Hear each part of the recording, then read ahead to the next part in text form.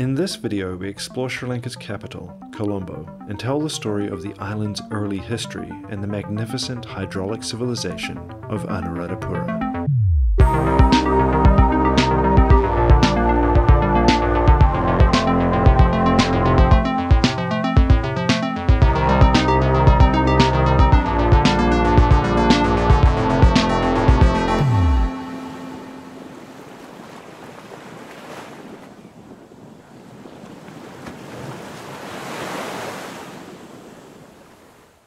Now, let's start the story. You have these islands like stepping stones that have meant that Sri Lanka and southern India have always formed a shared cultural space. At current sea levels, it's still only 40 kilometers at its narrowest point. There were indigenous people here, who are now called the Veddas. Then the Sinhalese came around 2,500 years ago. Buddhism arrives not long after the Sinhalese do, and spread quickly. However, it adapted and assimilated a lot of the pre-Buddhist traditions. The pre-Buddhist religion probably looked a lot like we would now call Hinduism or Brahmanism. And still Sinhalese Buddhism includes worshipping a lot of different gods and spirits, with the Buddha as the central but not only character. One of Sri Lanka's holiest places is the Tooth Relic up in the hill country of Kandy.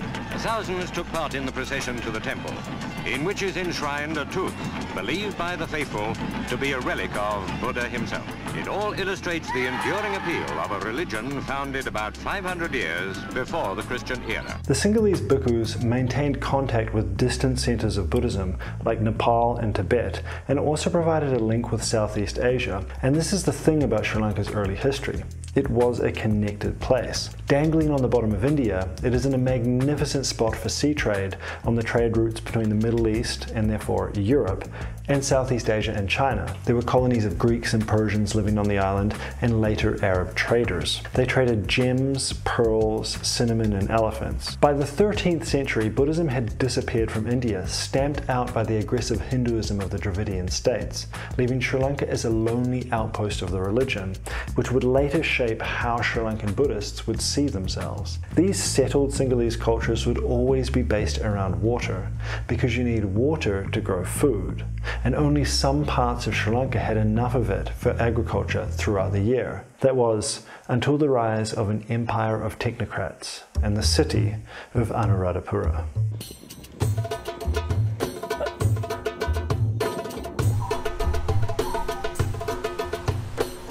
For well over a thousand years, the history of Sri Lanka was the history of Anuradhapura. Soon after the Sinhalese arrived, they built this city, and the kingdom lasted for around 1500 years. Can you imagine being a part of a civilization like that? It must have felt eternal. At its height, Anuradhapura was one of the great cities of its age. It had dozens of monasteries and as many as 10,000 monks. This was the golden age of Sinhalese culture. Its temples and dagobas were the biggest things that people had built since the pyramids of Giza. At its height, it would have taken a day to walk across and had a population of as many as 2 million people. And it traded with places as far away as Rome. The thing was, Anuradhapura was built in the island's dry zone. The city was only made possible by one of the world's most sophisticated systems of irrigation, which turned these dry plains into a rice bowl. Water would be kept in artificial lakes or tanks until it was needed, then released in a system of canals and sluice gates to distant lands. For example, you had the Jayaganga Canal, which was 90 kilometers long but had a gradient of just about 6 inches per mile. It irrigated 466 square kilometers of agricultural land. We actually don't even know much about how they did this. We don't know how they did their calculations or what equipment they used. And what they achieved would still be a major undertaking today. The land was flat, but it had these natural basins that were basically imperceptible to the naked eye, and these ancient engineers found them and turned them into tanks, of which there were more than 18,000, each one, on average, 350 times larger than an Olympic swimming pool. They were the ultimate hydraulic civilization. They changed the entire ecosystem of the dry zone. Until the hydraulic civilizations, Sri Lanka didn't actually have that many elephants. But now, in the words of John Gimlette, mankind had turned the land into a giant elephant salad, and their numbers skyrocketed. Most importantly, two rice crops could now be grown each year, as well as extra vegetables, and the land could support a much higher population. The Sinhalese kings turned this extra wealth into building works like these. Some of the Sinhalese kings tried to control the entire island, though this was mainly aspirational. No sustainable control of the entire island was ever achieved. However, by its nature, a hydraulic civilization is also fragile. Its maintenance requires complex administration. During this time, the biggest threat to Anuradhapura were the South Indian kingdoms, the great Tamil dynasties of the Cholas, the Pandyas, and the Pallavas.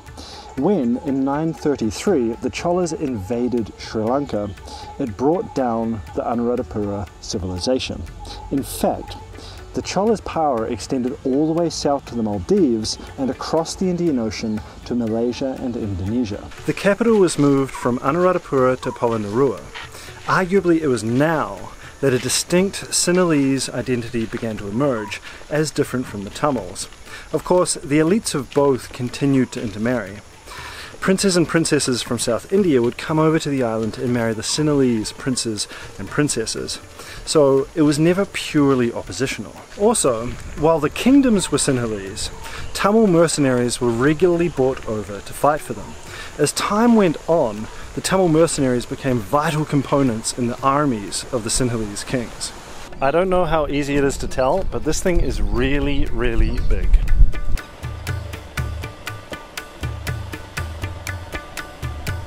However, with the collapse of the irrigation system, the Sinhalese hydraulic civilization would decline and be reclaimed by the jungle and be forgotten.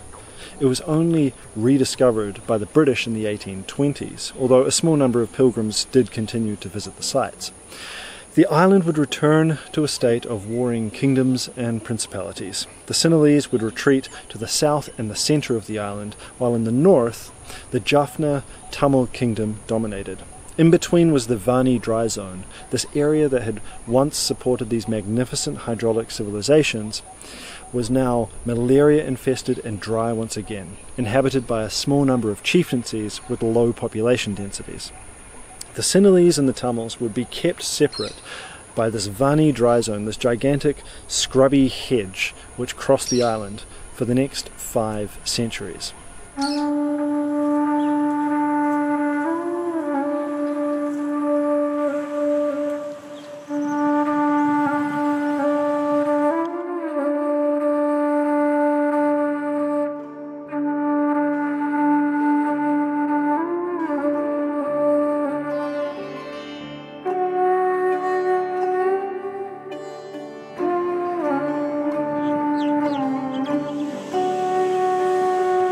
At the centre of Anuradhapura stands this bo tree. It was planted here in 288 BC, 23 centuries ago, apparently from a clipping from the very same bo tree under which the Buddha was enlightened at the other end of the subcontinent in northern India. It was brought here and planted and still grows long after the original one has been destroyed. This tree is probably the oldest human planted tree in the world. As you can see, Buddhists still come to it to make offerings. A man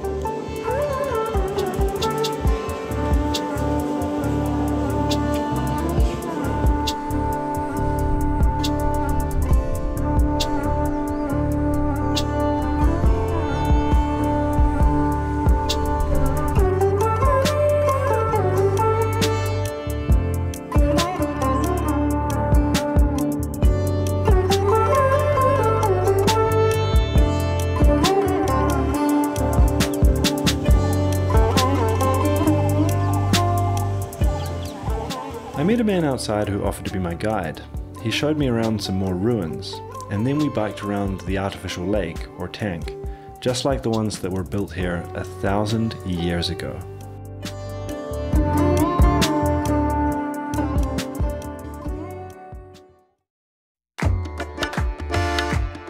I had one more day in Colombo before I headed south.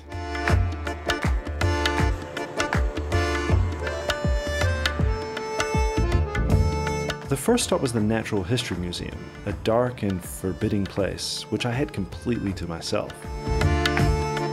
I then came across a graveyard, which was really quite nice and was sprinkled with slightly strange quotes by a truly random collection of famous people.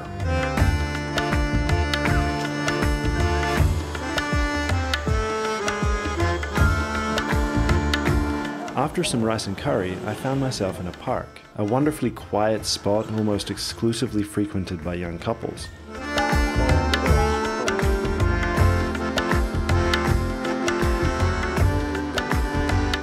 I got the sense there weren't many other spaces in Colombo where young people could be intimate and alone. Always, of course, under the watchful eye of the authorities, with a flashlight for the dark corners.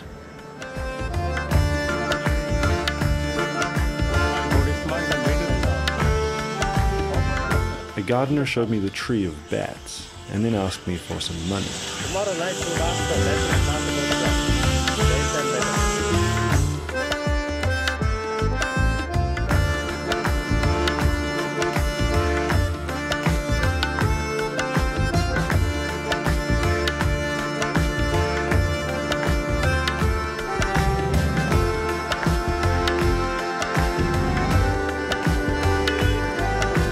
Went to the train station to try and buy an onward ticket out of Colombo, but all the ticket sellers were on strike.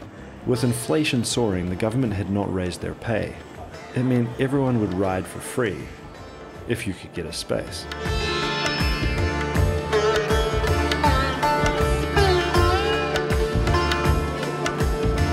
Near the train station, I found this guy giving commentary while his partner sells lottery tickets.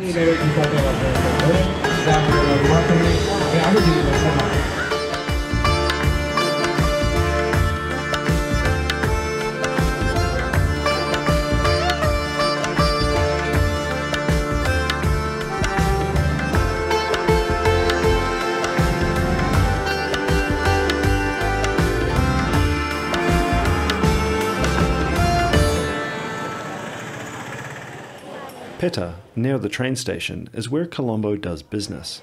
You can get almost anything here.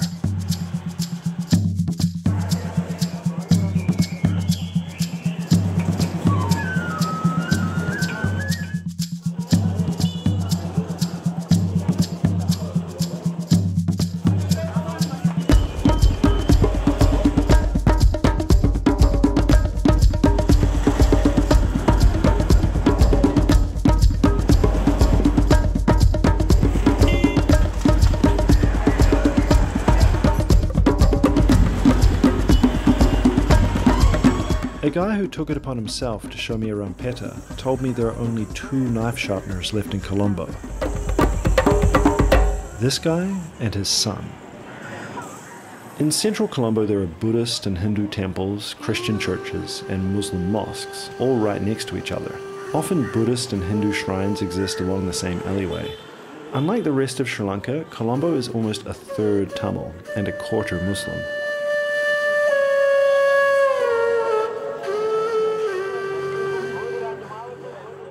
A short walk from Pettah is the bus station.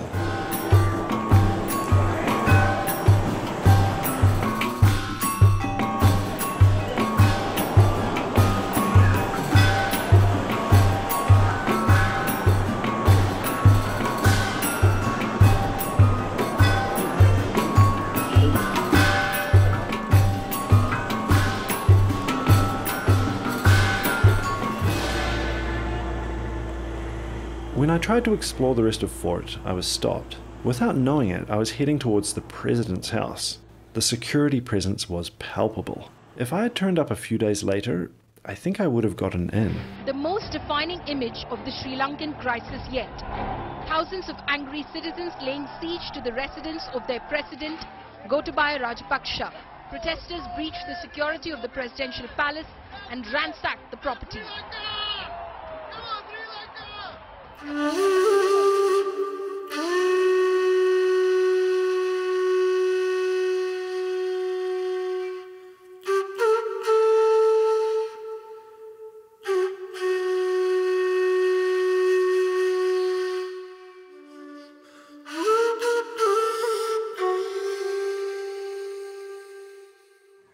Back at the park, the couples have been joined by families.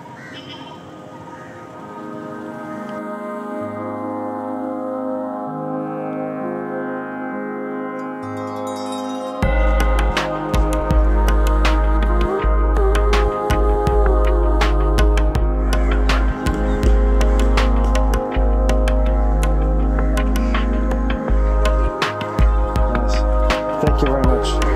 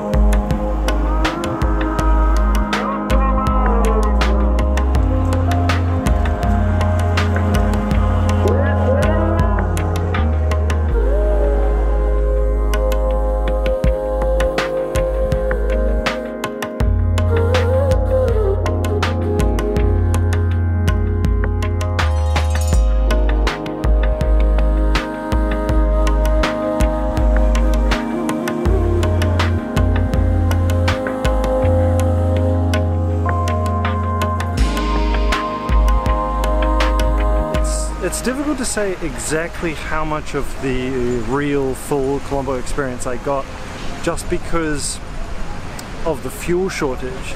I don't know how much activity has slowed down.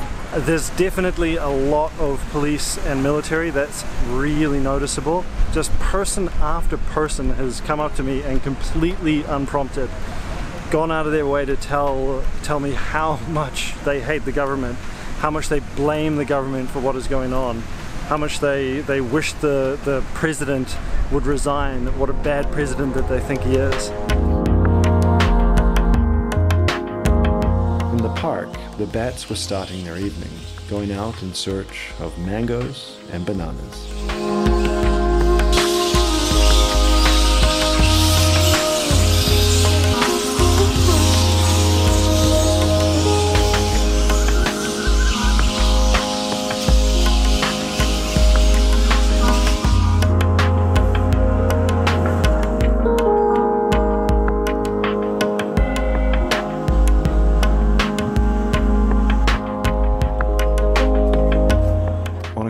Stands a statue of a Tamil who used to work as Minister of Foreign Affairs for the Sri Lankan government. For his services, in 2005 he was assassinated by a Tamil militant.